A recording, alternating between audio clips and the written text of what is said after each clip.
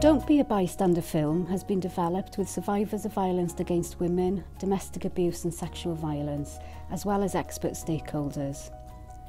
In the film, actors speak the words of survivors, the words they would say to those who supported them during their experience of abuse. The film demonstrates how much impact one person asking another if they're okay can have. It encourages the viewer to ask, Are you okay? to someone they're worried about and to offer support to that person by signposting them to the Live Fear Free helpline and website.